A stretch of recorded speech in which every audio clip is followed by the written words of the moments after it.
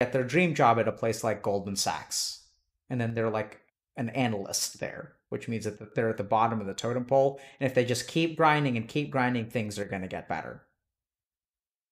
And then they find themselves as associates and they have more money and now they can fly first class for the 10 days that they get to themselves every year.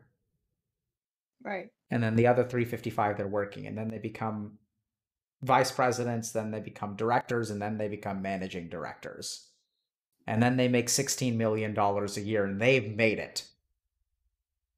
And they sacrifice so much they're 58 years old. They've been divorced 3 times.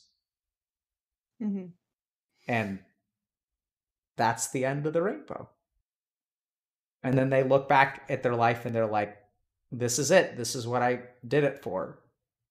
And they're filled with regret and loneliness. And it's not what it was supposed